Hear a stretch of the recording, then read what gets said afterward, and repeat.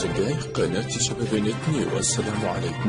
بعد عدة أشهر من الجدل الذي رافق القرار المفاجئ للحكومة والقاضي بالإبقاء على الساعة الإضافية كتوقيت رسمي دائم للمملكة خرج الوزير المنتدب لدى رئيس الحكومة المكلف بالوظيفة العمومية وإصلاح الإدارة بتصريح يكشف من خلاله نتائج ما قال أنها دراسات. دراسات تم إجراؤها لمعرفة هذا التغيير.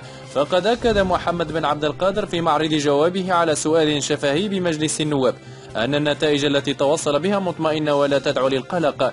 وأضاف الوزير أن الدراسة الأولية تكلفت بقياس الأثر على الصحة والأمن والطاقة والتربية الوطنية مشددا على أن النتائج تؤكد أن الاستقرار في توقيت المملكة أنهى الاضطرابات التي كانت تحصل إثر تغيير التوقيت لأربع مرات. هذا التصريح يعني أن الحكومة مقتنعة تماما بالإبقاء على توقيت جرينيتش زائد واحد على طول السنة رغم الرفض الشعبي.